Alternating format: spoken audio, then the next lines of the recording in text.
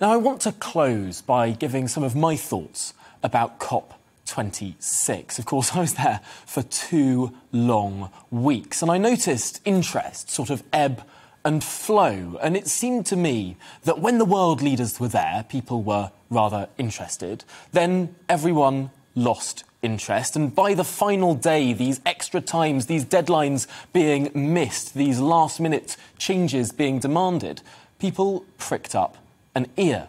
And I wonder to what extent people will notice who the villains of the piece are.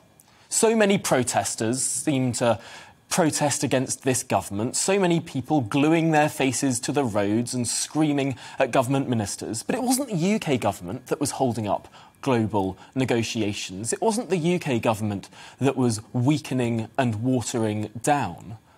If anyone is to be protested over what happened on Sunday, surely, surely it should be India and China.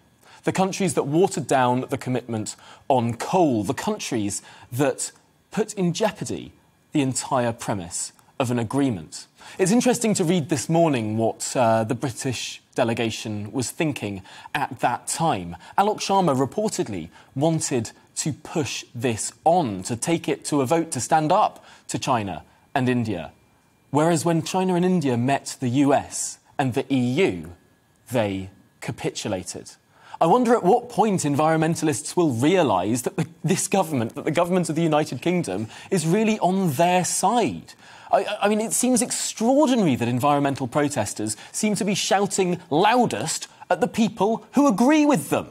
A pretty extraordinary state of affairs.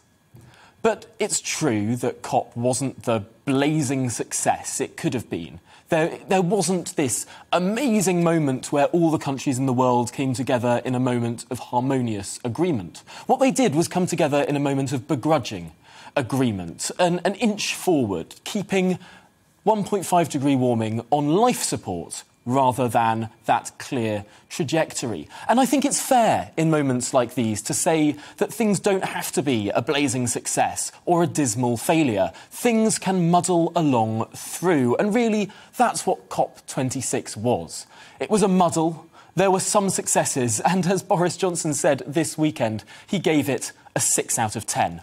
And potentially 6 out of 10 is just enough to hope that everything will be pretty much fine.